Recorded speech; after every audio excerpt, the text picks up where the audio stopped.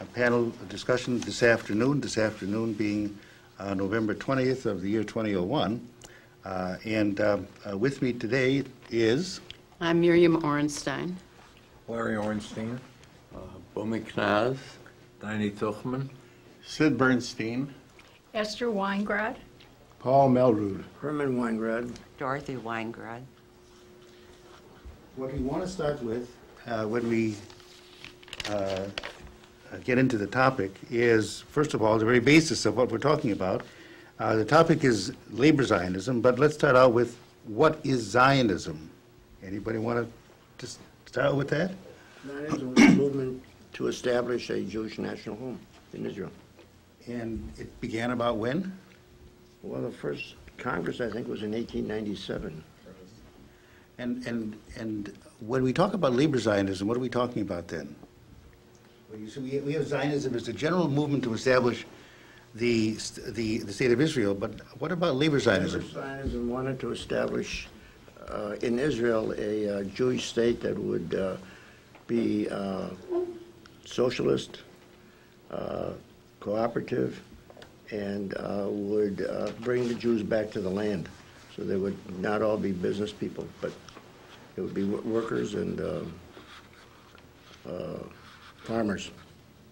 How does it differ from the other kind of Zionism that we know of, like general Zionist, the revisionist, the Mizrahi? How does that differ? Anybody? well, I think it's uh, much earlier than any of the others. Um, Perhaps maybe the next were the Mizrahi, who thought that it should be a religious state. I don't think the general Zionists came for quite a while after that. Yeah, there were social interest groups that de- decided the kind of state that they would like to have and the system under which they wanted to live. So it worked out uh, that labor Zion was a very popular uh, group amongst the Zionists. was uh, also very important uh, because of the fact that uh, land had to be reclaimed and uh, places have to be actually uh, uh, made from uh, desert into uh, something that bloomed, and swamps had to be uh, drained, and this could best be done on a cooperative basis uh, by people who are willing to really extend themselves, uh, both as individuals and as groups, in the form of a kibbutz movement, which was really the, the bottom line of labor Zionism originally. And we used to talk about that time about a, a triangle, and it would be an upside-down triangle. Normally, Jews lived where uh, very few people were labor people, and then it got up to uh, the people that were in business, and they were the uh, manufacturers, and, and they were the business people. But here we did it in another way, in that the people that were on the land, the broad base of the people in Israel were land uh, workers, and then smaller, smaller, to where it came up to a point where the businessmen were the point, rather than the way it was in the other part of the world. I'm just going to say, the general Zionists believed in a capitalist society. Uh, They believed in Israel being the home of the Jewish people, but not necessarily a socialist society, not necessarily a kibbutz society, but a society that deals with capitalistic theories. Jerry? The interesting thing is, is that on paper it sounded fine, but it actually almost died before it even got started. I mean, kibbutzim were closing up left and right in the early part of the century in Israel, Palestine at the time, and uh, it took many, many years before you really got a basis of people to work on a kibbutz and make it go and make it really for themselves to live and eat whatever they were growing at that particular time. Gee, I didn't know that. Study. The You should have lived on Fratney grew Street. Until Uh, It recently. really didn't grow that much at any given time, but it grew and they were wealthy unto themselves. They really were. Well, it was more than kibbutzim, though. It was also the Histadrut, wasn't it? Yes. Those were the arbiters, that the came workers. later. That came They later. came much later. Okay. I mean, the fact that uh, when the state was, when the state was established, the uh, first uh, prime minister was Ben Gurion, who was probably one of the foremost labor Zionists in our labor Zionist history. And he certainly was a, a, uh, a leader uh, that uh, the rest of the country, as well as the rest of the world, respected. More than anything else, not only was he a labor Zionist, but he was a Jew. And uh, this was most important to all people because he, he was a uh, Talmud Chochem, he knew the Tanakh, uh, and, uh, and he knew the reason uh, for having a Jewish state made of Jews. And this was his whole uh, emphasis as far as uh, the early years of, of the establishment of the state. One of the guiding principles was that, of labor Zionism, was that this, this transformation of Israel into a state would have to be done by the Jews themselves, and others couldn't be done by hiring other people to do it for you. This brings the idea of how difficult it was in the early 1920s. As a matter of fact, the time that Golda Meir left Milwaukee in 1921 and went to Israel, those were the years where they took rocks off of the field in order to make them uh, uh, bear fruit. And uh, there were rocks, there were swamps, and they cleared all of it. And it was very, very tough going for people of that aliyah that went there when Golda went there after she left Milwaukee. Well, don't forget, our philosophers, the people that we respected, had, were more or less framing it out for us vocally and in writing, so that we knew what to follow, who to follow, and what they were doing, and they were living examples of, of all of this. Would you call- Dalet Gordon, and so on. Do you call them practical visionaries? Because they, they had in mind what they wanted, but uh, in advance, I mean, it, it was hard going. Yeah, it was hard going, but at least that was, they formulated the path. And um, like you said, Beryl Katzenelson and so on, they also were trying to define, are the Jews a nation and all these other things. And of course, uh, it's evolved into that. Well, we talked about those early times in Goldie leaving Milwaukee. Your, Dinah, your family was involved with Goldie at that time. What, what do you remember about that? Well, that's uh, just an incidental thing, really. It has nothing to do with the major story uh, that we're trying to uh, discuss. She was a a college student first in Milwaukee, uh, at the Milwaukee. uh, Yes, she uh, went to the Milwaukee State Teachers? State Teachers College. Two- She graduated from a two-year class. They didn't have a four-year class. And that. uh, she was involved in the, in the, uh, uh, the uh, Folks Institute and uh, the Shula. Uh, She was a teacher um, at the Shula in- in Yiddish.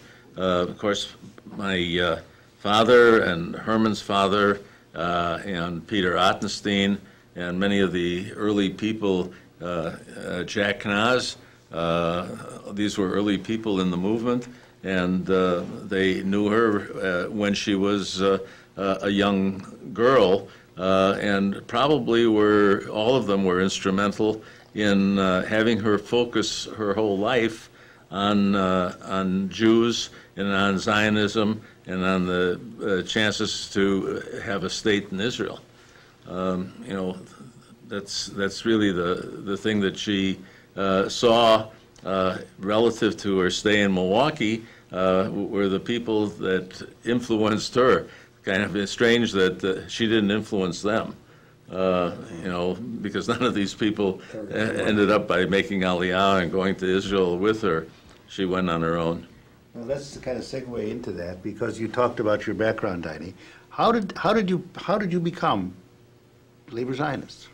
Born, What, born, born does to, mean? born to my, the right parents. all right, so your parents were involved. Why don't why don't you, why don't you talk about that in terms of the involvement of your Oh. parents and how you, and how you became labor Zionists and the kind of society or group or Yeah. that, you know, that there was here? There was no chevra. You went where your parents went because there were no babysitters in those days. so what happened was on Friday night you went to the Volksschule because they had an onig every Friday night, and they ate kartoffels, potatoes, mm-hmm. and you ran around like a nut. And because you were four or five, you didn't understand what they were talking about anyways, and they were singing Jewish songs, which his father led for years and years, and we were. That's how we learned the songs. We learned it only because we heard it every Friday night, but we didn't know what we were singing, but we sang. But the interesting thing is, even though we were born into these families, we continued with that philosophy when we got older. But we didn't do it and, with uh, our kids. And, I beg your pardon? We didn't do it with our kids. Oh, you- No, I'm talking about ourselves. You, you followed in your father's footsteps, and I followed in my father's footsteps, and I didn't resist it, and I didn't uh, uh, change my way of thinking, and I grew up that way. Well, that's fine and good. I'm not arguing about that because we all did the same thing. It was a carbon copy, no matter what family you're talking about sitting around the table here, that you did it. You did it because you played basketball on a Saturday afternoon. I mean, don't tell that to the rabbis in town, but you played basketball Saturday afternoon, and you went to meetings two and three times a week because there were always meetings, and you had a place where to meet. What meetings are you talking about? Meetings from Habonim. Okay, that's what I want. Oh, you wanted to know? It wasn't the Boy Scouts. You know, everybody here went to Volksschule. That's right. Five days a week. I mean, you know, our school day started at, Gotta eat what, seven or eight in the morning and went till eight o'clock at night, uh, you know, and uh, after school, we went to, to the Sunday morning, we Volksschule had Sunday morning. and, The uh, labor Zionist movement uh, in Milwaukee, for example, and I'm sure in other cities, it it was really a community. It was not just a series of meetings or or organization. It was a community. These people were talking about our parents. We were very close. They're dear. They were, they were all close friends. They all helped each other out in many ways, financially and other ways. There wa, it wasn't just, you know, there was a, they operated a, a school, The Yiddish folk Yiddish school? Volksschule. Credit union. Yeah, credit union, I mean, a lot of these things, I mean, it, it, The Farband. and, and they had a Farband, which was an insurance organization, basically. Fraternal organization. Uh, So it, it was much more than just, uh, uh, just an organization. It it encompassed their whole life, really. I mean, they, they lived it uh, seven days a week. I mean, they were, they were there Sunday morning at, with, to see how the school was running, and they were there during the week and so on. You know, it's interesting, you mentioned all these fraternal organizations and political organizations around the Volksschule. Do you realize that the Farband uh, group, uh, Max Nordau branch, was established in 1905? I don't know where they went back that far, but I remember that red banner that was on the- stage at the folk show, and it said Jewish National Workers Alliance, Max Nordau branch, organized 1905. That's unusual, I don't know who those people were. Early on, I think it, it uh, is also interesting that the entire group uh, politically was a little bit left of center. Uh, They read the Milwaukee Leader, which at that time was a socialist uh, newspaper. They voted for uh, Dan Hoan and Max Raskin, who were uh, socialist uh, uh, mayor and, and uh, city attorney. Alderman, Uh, We marched in the May Day parades uh, at that time uh, because uh, uh, everybody uh, was a little bit left of center, and so there was a political uh, uh, tendency locally, as well as our relationship with labor Zionism, there was also a, a relationship with, with labor uh, in the city of Milwaukee. I think this eventually disappeared as uh, all these people became more capitalistic, but uh, at least uh, uh, I remember myself walking in a Labor Day uh, parade with, with Paul's father carrying a flag. What color was it? I forgot. Red, I I, think it was I I remember uh, distributing leaflets for my mother to stuff mailboxes for, to, uh, for Norman Thomas, who was running for president, God knows how many times. And uh, I was chased by a janitor, uh, you dirty communist, he yelled at me. And uh, ch- running down the street dragging the little bag that I had full of uh, announcements. Actually, actually, it made it easy for us because the city was socialistic. I mean, really, they had thousands and thousands of people that came on May Day and watched us march up, it was Kilbourn Avenue. We had to march up to the auditorium, I think. At one time, there, besides the city attorney, Max Raskin, and mayor, there were about six or seven aldermen. There was Carl Dietz. Oh, uh. There was a guy, uh, uh, You had a congressman, Ben. Mr. Berger. yeah, Mr. Berger. Berger. But he, he's noted for something else. He was the only one that voted against going into World War One, I Yeah, think, right, wasn't he? yeah, he was a Weingold was objector. getting close to him. Yeah. Yeah, that's right. That's why we have such a progressive city now, as a legacy Oh, of all those years of uh, uh, socialist tendencies. Well, we also knew some of the songs, because when you talk about uh, uh, going under the red banner, we used to know the, uh, the Internationale. Internationale in Hebrew. In Hebrew, Yiddish. Yiddish, That was the Kinder International, wir seinen Kinder alle gleiche. every stanza. Wir alle, wir Wir seien Kinder alle gleiche, wir seien alle vereint. Nicht doch kein Arme, kein Reich, wir wollen unser Welt allein. There were a lot of things, there are also Yiddishes. And That's then, right. and and then, and then I can recall uh, that we also sang some of the songs of the Abraham Lincoln Brigade. Um, The four insurgent generals. younger, we didn't know. You didn't do that? No. No, I was younger than that. You didn't- The Abraham Lincoln Brigade was the latter part of the 1930s. You guys, you guys 1939 was the Spanish War. Well, 37, 38. yeah. Started in three. Actually, we uh, in- integrated Hebrew very early, and uh, the Arbiter really was the Yiddishists in Milwaukee, not us, because we... But your we- father taught us probably 90% Jewish songs. Well, What and do we know songs, and Huh? Hebrew- Hebrew songs. We had, I don't remember, a lot we of- knew a lot of a words. lot, a lot of Yiddish. A lot of Yiddish songs, Yeah. yes, there were a lot of Yiddish. We still sing them. Yes, we do. Pesach. No, In terms of Milwaukee, in terms of the way, in terms of the way it was in Milwaukee, though, how, how big was this labor Zionist movement uh, in relation to, let's say, the other 120. parts, in relation, in relation to the other parts of the, of the Milwaukee Jewish community? And how do we relate, let's say, to the, to the Jews that's of the reform, of, uh, of the reform movement Ooh. at all? Tell us, Lazy. I can't tell you because I never enjoyed that part of it. I had nothing to do. We used to collect for the JNF and knock on doors that had Christmas trees. That- Every year, the JNF had a drive in December. here, you talk about the Yiddish folk show.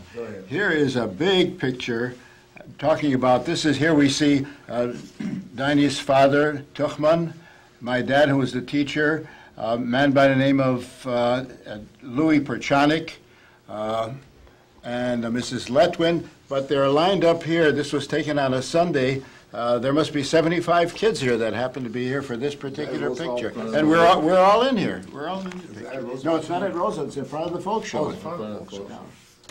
But in regard to what you said, I think it was in 1967, uh, when uh, the war in Israel, that the Milwaukee Jewish Federation realized what the people in the uh, labor Zionist movement could help with and could be part of. Because I remember my uncle and Mr. Spiegel, my father, they, they were very much a part of that. Up to that time, I don't think that we were really looked upon with much respect. I mean, we were a small group. But at that time, and also a lot of Reform Jews suddenly became Zionists. I mean, people came out of the woodwork uh, and were very, very ardent Zionists and were out there raising money, which they had never done before. Now, as a members of the labor Zionist movement, what kind of activities did you engage in? Let's, let's talk about Habonim, because that's the biggie. Uh, Paul, you were, you were around when it became Herman Habonim. and I were the first leaders. We were 13 and 14 years old, and we were leaders of a group that Esther was in, and we were about two years older than them, and Dorothy was in. We were two years older than, them, but we were their leaders. And after a while, uh, they got sick and tired of me, and I turned it over to Herman, I remember. Herman left the city. He went to ag school with the idea of going to Israel.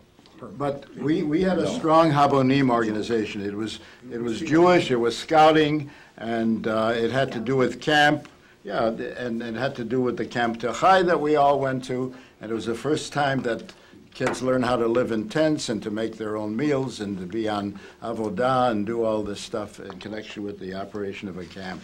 But we had Bonim, Sofim, and, and Solalim. Solalim were the youngest, and then Sofim were the scouts, and the oldest ones were the Bonim, and that- that, they got to be 17 or 18 or 19 years old. And the, the original leaders called the Rosh Machne was Isidore Sedlet, uh, Esther Heine, uh, Mignon, Mignon Weiss, who went to Israel, Menucha, Wasn't And- he known from She was, a- Canada. she was, a- she came to Milwaukee, and she taught at the Emmanuel Temple, yes. uh, Who were some of the other Rosh, what- your brother Al was the Rosh Machne at one time, right? Weren't you a Rosh Machne? I don't think No? So. What? Waxers, I mean? Waxer girls? No, they- ne- neither of them were, were Rosh um, You were asking about numbers before. Yeah. I don't know if Habonim in its, in its heyday, as here locally, had more than 100 members. No, it more than that. No, they They're still spread out, right now, in, in our, organiz- in, in our city. We, I see people that were in Habonim, they went away from it years ago. We stuck with the organization. They went away from it years ago. But we touched an awful lot of young people that were in the Jewish uh, community at that time. They came around and because they had fun. They did Israeli singing and dancing, and that was a big novelty at that time. And, uh, and we had it, you know, the, the, the, uh, the floors would creak every Saturday night when the kids were dancing the Hora and all those other songs, all those other dances. It's Probably important to say that Hashomer Hatzair was also labor Zionist. Sure. And uh, they had uh, a different attitude toward uh, the establishment of the state. They, at that time, believed in a binational state. Uh, And that was the basic difference supposedly between Hashomer Hatzair and, and Habonim. But uh, at their height, uh, they had uh, probably as many kids in Hashomer Hatzair as we had. No, they didn't. And, well, I, I don't know, problematically, but. uh, uh, They're much the- the- farther to the left, though. They were further to the Wait, left, and, and they had more people who go to, that went to Israel from Milwaukee than, uh, than Milwaukee. But They were weren't quite they- militant, yeah. Weren't they more affiliated with the communist No. movement rather than the No. socialist movement? No, no. Now, in terms of, well, you, you, you you mentioned Tel Chai as a Jewish camp, and I frankly was never in Tel Chai. Oh, did you miss it? Well, I missed it, well, that's the whole point, so why don't you, that's right, so, so what about, what, what, what was distinctive about Tel Chai and the way it was operated, and whatever happened to, to, to Tel Chai? It's part of a I-94 in Illinois, as- or Michigan, as we- Illinois. Michigan, Michigan, as we speak. It was a beautiful camp on Lake Michigan, about five miles away. I don't know of any real good Habonim camp that has a real good water supply. We used the nearby lake, which was a, a a mile and a quarter from our campsite. Uh, Those were And, uh, wonderful those were- summers. yeah, Those were wonderful. memorable days. But you know, one of the things you ought to say about camp is that because of camp, we met kids from all over the country, uh, from other camps, and we had uh, seminars in cities like St. Louis and Chicago, Milwaukee, Detroit, uh, Minneapolis, where, you know, kids who grew up the same way as we did with their parents coming over from Europe as labor Zionists, uh, we all became friends. And we're really, many of us are friends today. And many of us married through, Yes, because of, that is correct That's also. right. You, for one. I for one. He for another. I joined Habonim at age 11 Me for one at what? from Chicago. I joined Habonim at age 11 in Chicago, and at that time, we came to Camp Tel Chai. Camp Tel Chai was then being occupied by, um, as a camp, by Hashomer Hatzair out of Chicago. That was in 1934, I was Yes. there, yes. However, Yes, however, the year after, uh, the uh, organization took it, took it back, and then I was a non-camp camper because we were in the hotel, hotel. And, uh, Beat them in baseball what when that they retired. So, so we played in baseball and so on. But I think that was on or about the time that we started to have the seminars in Milwaukee uh, during Christmas uh, vacation at school. Now, one of those wonderful seminars, I remember Golda Meyerson then came and danced with us and talked with us and so on. The mayor of Milwaukee came to address us and so on.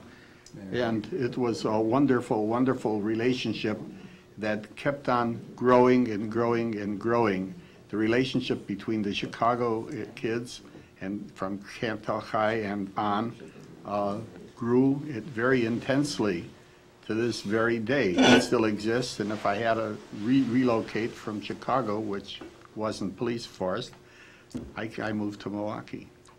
I think besides all these things, I think one really has to mention the fact that within this group of people, there was an intensity uh, that I don't think can be measured uh, in any other similar group, whether it be either religious or, or uh, political or anything else. I mean, these people and their children uh, were totally concerned with uh, Judaism, with the establishment of, of a state. Uh, They didn't all go to shul, they didn't all fast on Yom Kippur, Uh, they didn't all, although all of these things were accepted, uh, it was not illegal. But the intensity of this group, I don't think, uh, can be measured, and I don't think can be paralleled with any other group anywhere because uh, uh, nobody enjoyed the establishment of the State of Israel on Independence Day like this group enjoyed it. May I also say about Habonim, that we really felt like we were the elite. We sort of looked down on other social, ch- uh, kids, you know, teenagers, uh, organizations like BBYO, and, you know, they were, after all, they didn't have serious reason for existing. We had a serious ideal that we were working for, so we were really special. Sure. You're absolutely right.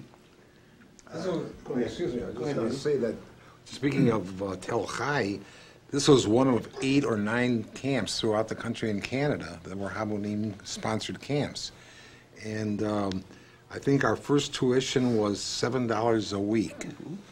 And most of us were on scholarships. Oh, yeah, they got scholarships brought down to about three and a half. But uh, we, uh, the camp started, uh, actually folded because of lack of people back in 1942, 43. I think 43 was the last year of camp, because the next year we could go to Commons, which, uh, not Commons, to, um, uh, hey, that's from Illinois. We went to Savanna in 43. So, and it was 46. 45, But they, um, they managed to hold a camp open in Detroit. Yes, across from Farband Camp, right. Kinneret. Kinneret. It was Kinneret, Kinneret, Kinneret, Kinneret. Kinneret, yeah. And then after that, the history of it was that we built several camps here in Wisconsin. And it finally wound up, wh- how many years ago in um, Three Rivers, Michigan? It just had an anniversary. Many, many years. Alex was, 20 years, probably. one of, Alex was one of the, he, um, He was- he ran the camp. No, He was roached by us up north In, uh, I. at Waupaca, Oh. the year after. That was Yad Ari, the- the not camp. Ari. Yeah, Yeah. yeah. yeah, the Because camp, Lacy and I were there this, that summer also. yeah. And, The uh, cook, she was a cook. and I think, I think Savanna burned, wasn't it burned? No, that was No, a- that was, Savanna we was rented We it. rented it, rented belonged it. to the state of Illinois. Boomy was a driver. Yeah, it was a Were you triple A, driver? it was, uh, not It was triple A. practiced driving. CCC. Was it a CCC CCC camp? camp. I knew it was On three the letters. Mississippi River. Could have been KKK, but it wasn't. You were a roof there one year, Race, weren't race, race. north, yeah. We were there Oh. for two years, 45 and 46. We came there from the. Well, and At- then, at then- then we had the war, and that's when the next stage of our development as far as organizations were concerned, where we all got involved with the Brandeis branch of the Labor Zionist Organization, which started in 1946 when we got out of the service. That's when it, that's when it started, and uh, I've got something interesting that I brought here, and I don't know if you were aware of it. Back in, in that time, 46, 47, 48, before the establishment of the State of Israel, the Brandeis Branch had a weekly Sunday morning program where we dramatized the news, and I've got the scripts here. I, I grabbed them today, and we'll look when we'll have a little more time. I'll show you this stuff where Max Lichter was a was an announcer, and they were written by Edith Nelson and Sally uh, Eisenberg. Uh, the famous uh, Alan Eisenberg's mother was uh, uh, on the script, in the script there. Uh, Esther, you, you had a part in one of these, I remember. A WEMP, and, uh, and there are some very significant scripts here in connection with uh, what was going on at that time in the Yiddish, and the Yiddish street, and in the Yiddish world, and in the Arab world, and uh, this is really historic stuff. One of these days, we should turn it over to uh, the archives.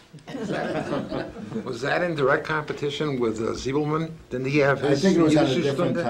time. He was No, but I mean, the same years he was Different doing it. level. a different level, well, well, we also spoke wasn't English. commercial. Oh, that'd be a difference. That helped. Wasn't the Yiddish It was, it wasn't. When when did the first, uh, one of us ever leave for Palestine then? Al, right? His twin brother. Did your brother Al. Alan? I left in uh, 89? 40. Legally. he left Earlier than before he Illegally. stayed. No, no, no, Right. no, no. Well, he was He known. left, he left 44. in 45, a 44. year before we were married. Blossom was still Oh, here. I was married He was in at the Chava. 46 and Blossom was He here. left on an illegal ship that Right. brought refugees 40 he into got. Israel. I think they were married in 44, Right. and he left in 45. Oh, I was discharged from the army, and then all these khaki towels that we had to turn back, I took a whole bundle of them to the Chava, where my sister was at the time, and Blossom gave me a pair of shoes that she was going to send to Alvin, oh. and wanted to bet, get them to be a little scuffed and worn so that they don't, so they can go through customs. That's Blossom. So, and incidentally, Al's shoe size, I've got to admit, was a little too small for me. So I broke them in fast. Tell, say what the Chava was. Well, the Chava was a training camp to go to Palestine. And uh, Red can tell you better three because she was there for three years. It was years. in New Jersey. It was in New Jersey. Cream Ridge, New She Jersey. was a slow trainer. Cream Ridge was a town of like uh, two people, two, two families and a store. But, it- you know, post office between Allentown and Yardville. Not far, Everybody knows about not far from Trenton. It was a, a farm that was set up in the 30s for people who were planning on going to Palestine as chalutzim, as people who would work the land, as you talked about Pioneers. pioneers, and uh, I was there for three years because I came in 43 during the war, and nobody could leave for Israel then, for Palestine then. And I was there because I'm from St. Louis originally, but my family were one of the few that I ever knew of who, most people said when their kids said, I want to go to Palestine, no, that's enough. However active they were in Habonim. My parents said, go, because they went. That's why you're here. That's why I'm in Milwaukee. Well, you got to tell hi from St. Louis at that time because kids from My St. Louis. my mother was the Hebrew teacher The Hebrew in teacher, Tel. Chai that summer. Yeah. And I never went to any kind of Hebrew school or Yiddish school or anything like that because I learned Hebrew at home. I mean, she was a, a teacher. You and your twin brother were there, I remember, yes. Yes. That first summer, my sister also was there. She was six, Six.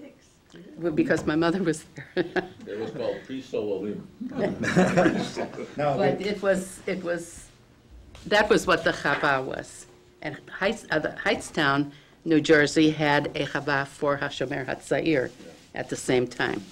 I've got some historical stuff here. I've got here uh, a little booklet of minutes of the Brandeis meeting from back in 48 and 49, signed by Golda Sozov, Miriam Orenstein, Secretary Leah Kniaz, Ethel Sedlet, uh, uh, Julia Rabinowitz, with the dues, the re- record of dues and everything else. Do- Doris, uh, Doris Carmen, and I don't, re- well, I, I'm not going to go look through this, but I'll just read from a paragraph here. This is a meeting, there's a board meeting on February 9th, 1949. Herman Weingrod then reported on a Purim social, which is to be held March 19th at the Jewish Center, proceeds of which are to go for the group's J and F quota.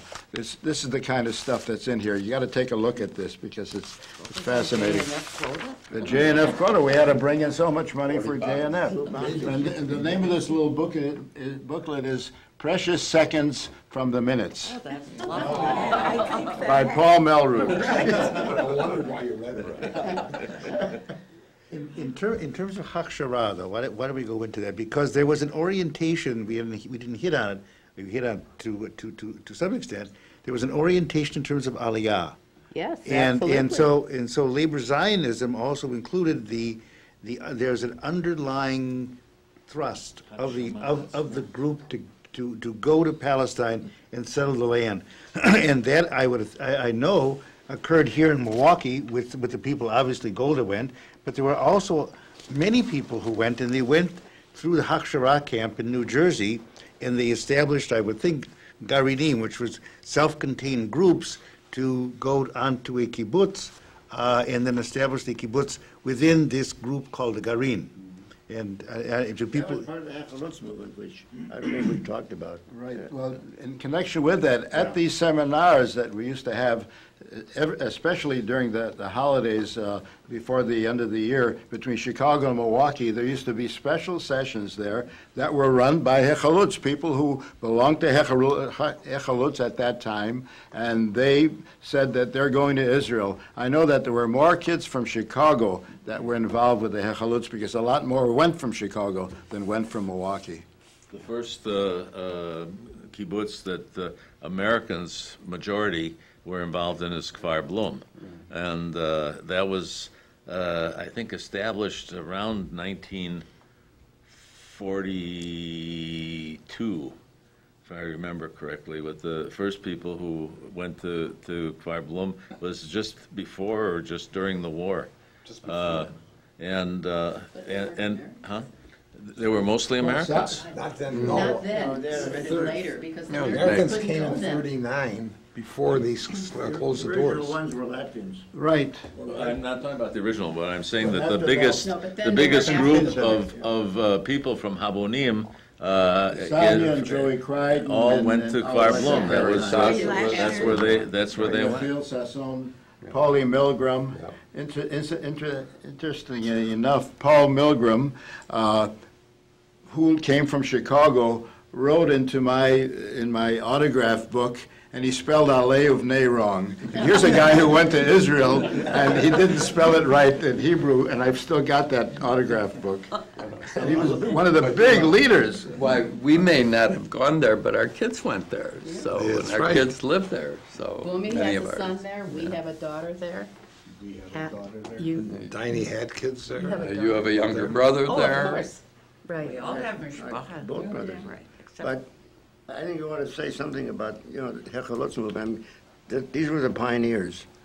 And, I mean, it was, and they were the one, I mean, they went to settle on the land, which was part of the theory or of labor Zionism. And so they had to know about agriculture. And none of us grew up on farms. And none of us knew anything about agriculture. So many of them went to university, to, some went to the, Hachshah, some went to the university uh, to study agriculture. I was in, uh, at the University of Illinois, there were Okay. five or six of us there. Uh, Except for me, they were all studying some phase of agriculture. I'm sorry. I thought you were part of that. He was studying I diamond, live he was studying diamond. I was studying, Diamond mining. Well, you wanted to be a first of all, I veterinarian, didn't didn't study. you? You- Didn't you want to be a veterinarian at that time? No, not at that And you time. couldn't stand cats?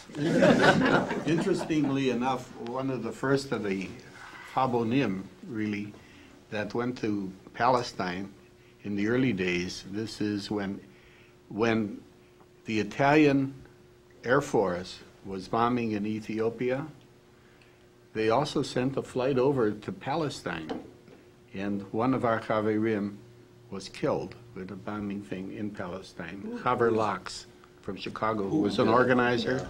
He had a son who was uh, killed. No, not Mitchell. But, no, Enzo Sereni was somebody else. He came to He was Chicago to Italian. visit. Enzo Sereni was Was a one of our organizers uh, before the war. His father was the physician to King Victor Emmanuel, and Sereni was here, and he was with us at Tel Chai, Right. and he, we wanted to play baseball, and he used to say, Aznu, you want to play belly ball, or you want to hear about Palestine? what happened to Enzo Sereni, so people would know about He him? was, And so he was dropped behind the enemy lines to work there, and uh, he was shot. He was caught there and shot. And this is the son of the uh, doctor to King Victor Emmanuel. He didn't really have to do that, and uh, he was that gung-ho. But he spent time with us at, in Camp, Camp Tel Chai and Sereni. And, you know, to get back to Habonim, uh, we, our meetings consisted of, of learning things. I mean, we really were very serious at these, other than having fun, of course. we also had sessions, Sicha. sicha- sichot, oh, sichot, and they were really very inspiring, I think, we felt, most of us. One of the most unique things about Habonim that I, that I can recall is the fact that the leadership was provided within the group. And that we didn't have adult advisors in which you have, you know, you have all the groups had them. And we kind of set ourselves apart from some of the other youth groups because it was all self-led. Like B'nai B'rith and others, they had the senior uh, advisors, yeah. Yeah, they always have been. Yeah. Right. No, you're right, One of the things also, we just also forget about that part of the Habonim, the war really killed it, World War II. I mean, people were drafted into the Army, people were drafted into the Navy, or whatever the case may be, and you lost that whole generation Some of people. volunteered even. Huh? Some people even volunteered. Yeah, here we are, we volunteered. But the interesting thing was, in order to keep that thing alive and pumping, they had a Habonim Institute Yes. that Bumi was at for, was it two years in New York? A year. In Chai. Kai, uh, Yeah. Time's wife went there, the first year it was in existence, I was there That the was what, second year. 44, With your 45? sister-in-law. Oh, yeah, Bella. that's Bella. right. And they kept it going. It was a very active part. He studied in New York for nine months or 10 months. Um, And then you had uh, And then you had a year your of service service. someplace. And what happened was, that was a forerunner of the Habonim um, Workshop. workshop. In other words, people graduating high school, all our kids went. To Israel. Yeah, I know they went to Israel. I was, said when, you didn't oh, they went. I didn't was thinking what the next word is. Uh, The thing is, is that that that became the basis of uh, sending your children to Israel, working on a kibbutz, studying and workshop. working, The a workshop, right. What year did the workshop start? 48, maybe, 49 in About Israel? 48 or 49, yeah. That's still going on today. The institute only lasted, I think, two years. Two years, right. 44 and 45. But it started, that's when it started. And it had to- you, then you had to work at, at the camps. Yeah. And I don't mean the camps, then, the Habonim camps here in the States. That was your payback. And They still have workshops going to Israel, yeah? My How many years is that, that they've been going on? I know my Laurie went, went to the second or third workshop with the Slomowitz 53 girls. years, maybe?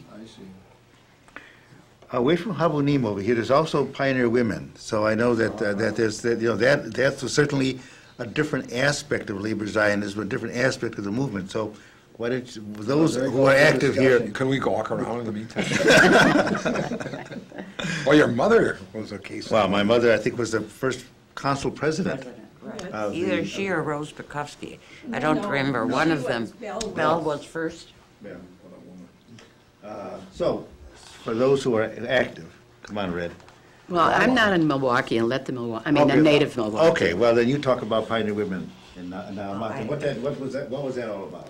Pioneer Pioneer Women was all about uh, a relationship of women in the United States to women in Israel, Moetzet HaPolot, which is, I think even today, the largest women's organization in Israel.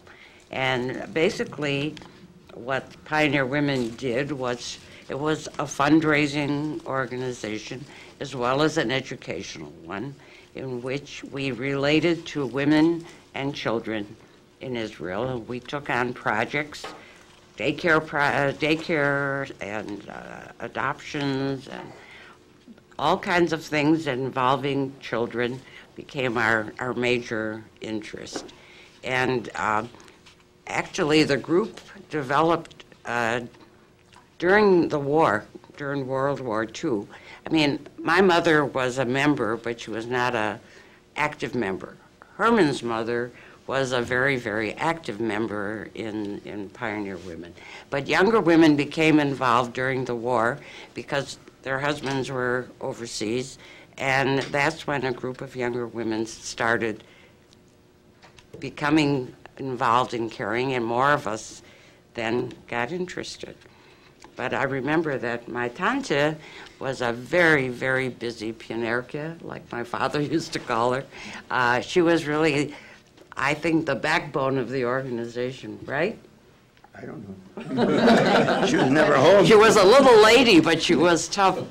Jerry, this also was part of you said, or somebody here said that we were born into labor Zionism. Many of us, I think, were born into Pioneer Women as well. I know my, I, I'm from St. Louis. My mother was very active in Pioneer Women there, and many of the women that I first met had backgrounds where their mothers also were active in Pioneer Women. There was also a David Pinsky Women's Club. Ladies Club, yeah. uh, Well, that, uh, Wasn't that Pinskech Zionism? is- That was not That was the, Zionism.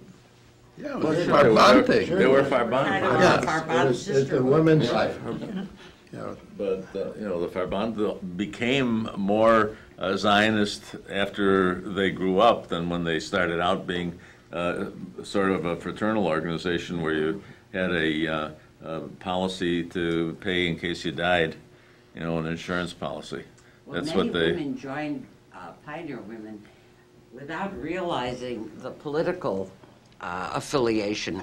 The labor Zionist part of the organization got kind of hidden, and we, truthfully, we didn't, we didn't really push the labor Zionists because we wanted women to be part of this organization, and most of them really had no political affiliation with Israel, nor did they care.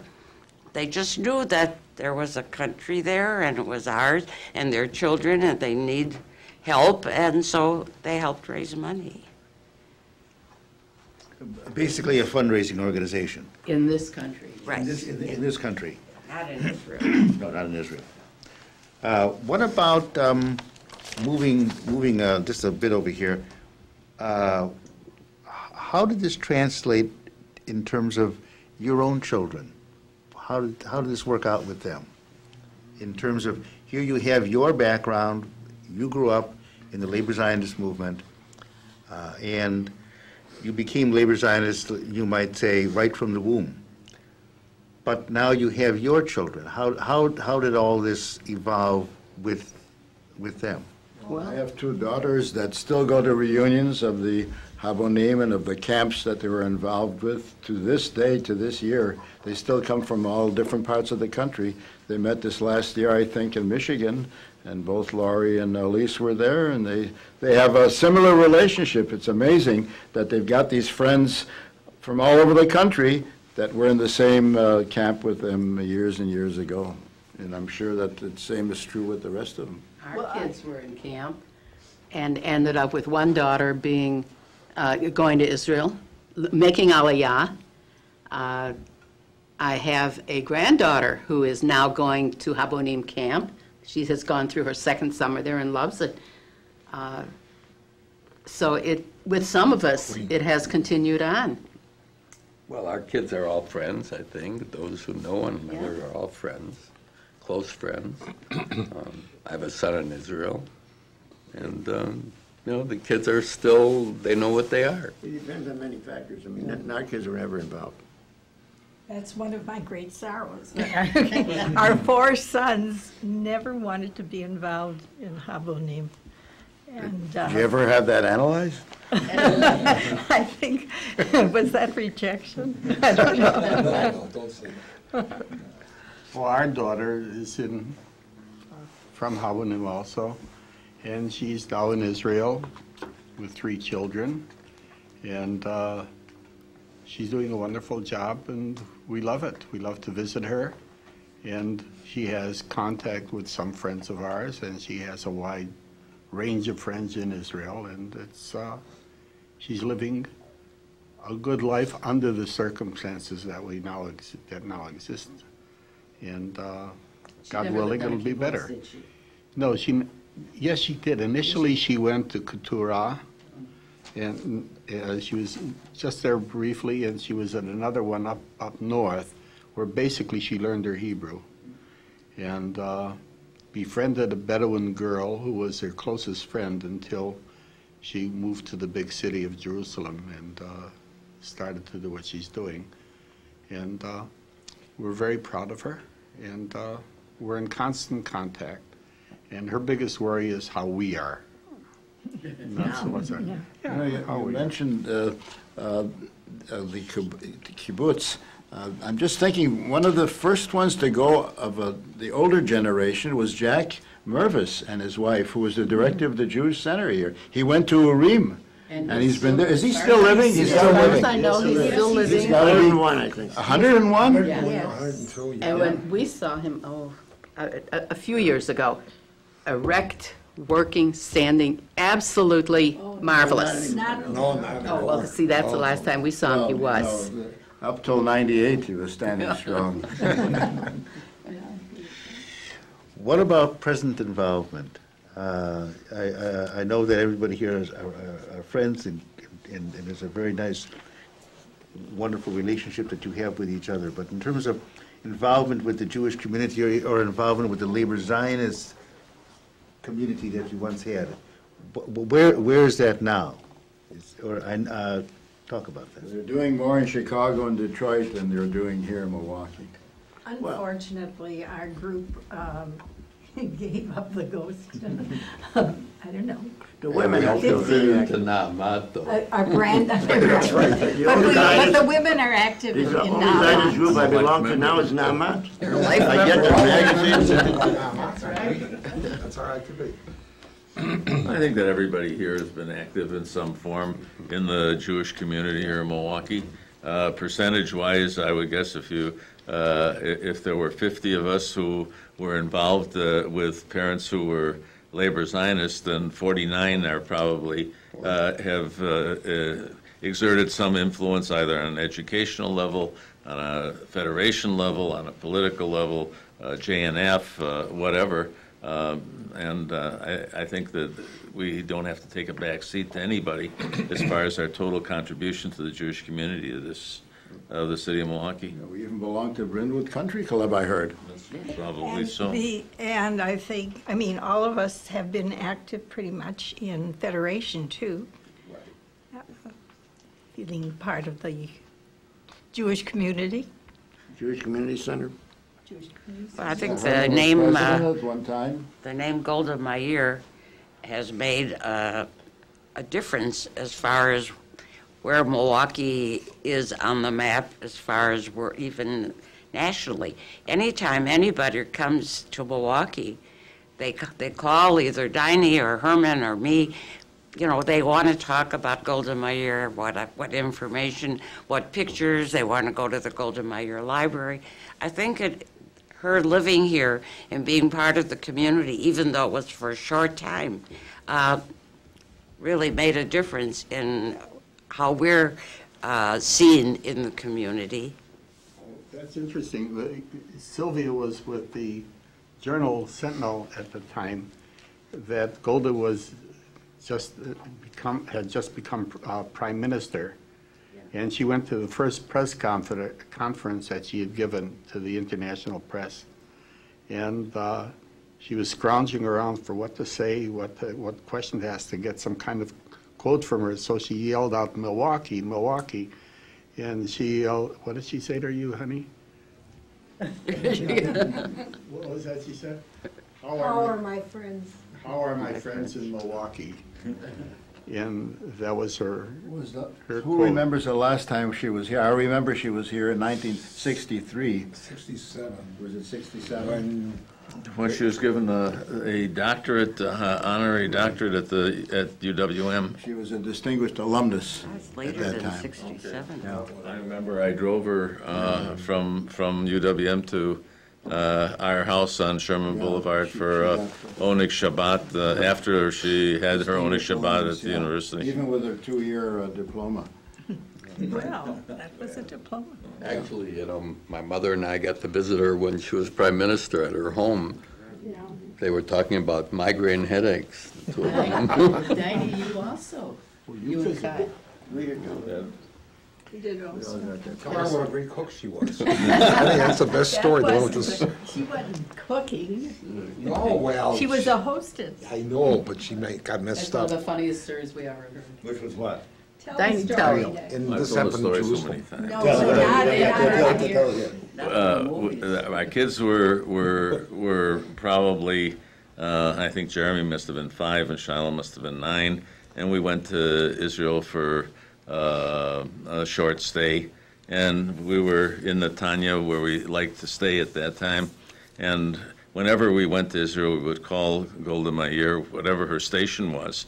Uh, At one time, she was ambassador to Russia, and uh, the last time, though, was she was already the prime minister.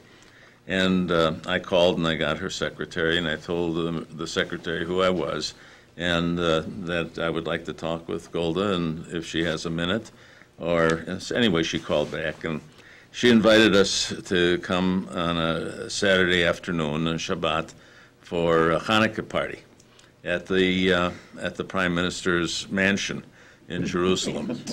So uh, we were kind of excited about it. I don't know if my kids knew how to be excited about something like that or not, but we were. And uh, we left the early Saturday morning and and uh, drove to Jerusalem. We got to the uh, mansion, and uh, there was a gendarme who was kind of half asleep in the little uh, uh, box outside the, the door, and we told him who we were, and she invited us in, and, and everybody hugged and kissed and stuff like that, and she said, she really tried to call the party off, because this was uh, the time of uh, the uh, uh, Russian uh, problem relative to the uh, dissidents and stuff like that, and she was supposed to invite 40 Russians, and they couldn't come, so she called the party off, so there was a big, long table like here to the next room, and uh, it was all lovely white, and uh, uh, this is where the party was supposed to be. But then she said that she was supposed to be picked up by Moshe Dayan, and she had to go to a mass meeting in Tel Aviv, talking to the Russians, let my people go. So uh, um, we understood that she couldn't spend much time with us, but like in Israel, everybody, no matter how much time there is or how much time there isn't, you have to have a cup of coffee. So she had a, a, uh, a Yemenite girl that she called in the kitchen and uh, put up coffee, and the kids had Coke or soda of some kind, and Chai and I had coffee. She wanted to know how we liked our coffee, and we said uh, black with sugar. So fine, there was sugar, and there was coffee, and there were some cookies, and I put the, some sugar in my coffee, and Chai did the same thing. I took one drink, and my eyes rolled back. This wasn't sugar, it was salt. And it, it was, you know, now, Chai looked at me and I looked at her. What do you do with a, with a prime minister to tell her that somebody sabotaged her sugar bowl? I mean, you know, so we kept our mouth shut. We didn't say anything. We took a couple sips. She had a run, and we said goodbye. Two years later, she uh, was in Chicago for a, uh, a meeting of some kind of, huh? Bond, Israel Bond, at the Palmer House. And uh, Dorothy and Chai and my daughter Shyla and my aunt uh, and, and, huh? Emma. Emma. My mother and my aunt, Mrs. Weingrod, drove to, to uh, Chicago, and uh, we caught her eye uh, before she, she started her speech, and she said, you know, she pointed, when we come up, that we should go upstairs after, because she wanted to talk with us. So she finished her speech, and everybody clapped, and we went upstairs to her private uh, suite up there. And there were a couple of gendarmes there that were watching things. We had to uh, convince them that we were honored guests. We walked in, and she walked into the room, and she looked at me. She said, Chaim, why didn't you tell me that there was salt in that sugar bowl? now, this is two years later, and completely, you know, with all the problems that she had in the world, and, and, and with Israel and with Russia and with Jews all over, she had to remember that that sugar bowl was sabotaged. I think now we're going to kind of wind things up after that story by, by, uh, by Diney.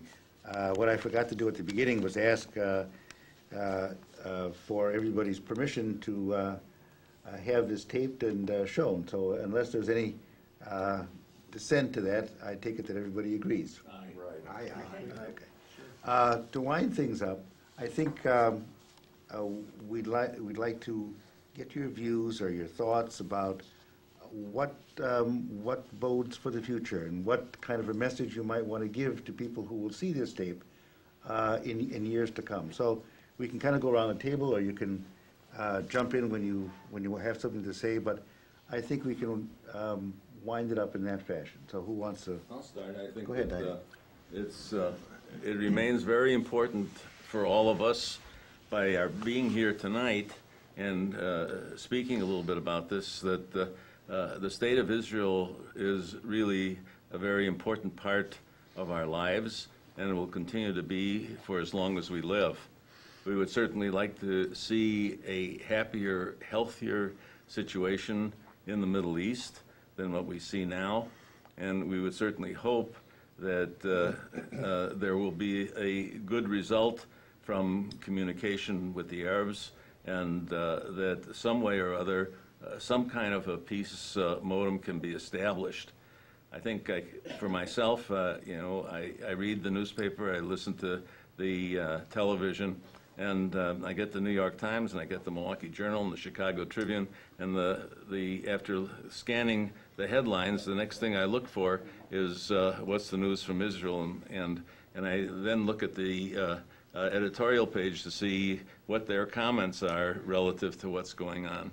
So I think that, that uh, uh, as far as my upbringing and my concern and my knowledge and my desire, I certainly feel that, that all of us here communicating with you have the same intensity and spirit and hope for a better world and a better Israel. I don't know how else to say it. I, I would say that I agree with everything that Diney said, and I want to add a different dimension to it. I feel that because of the way we grew up and where we grew up, uh, and the time we grew up, we've lived a much richer life because of our Jewish identification. That this gets back to something that Esther said before about we really had the best of all the worlds. Besides the fact living in Milwaukee and the United States and being good American citizens, we also had this richness of the Jewish culture and uh, the, the, the politics that has been involved and the uh, relationship to this, the growth of the state of Israel. So we've lived a Jewish life and a full Jewish life with very, very multicolored uh, kind of uh, uh, hue that really gave us a, a high quality uh, form of, of life that has made it much richer than uh, somebody else who wasn't grown up in Milwaukee with the Jewish background that we've had. I, I think the message should be, could be the importance of education, of Jewish education, of learning who we are and what our roots were and what we tried to do in our lifetime, and that you can't really do any of these things unless you understand and know from where you come and from where your parents and your grandparents, which is who we are now, and how important it is to know and to understand and, and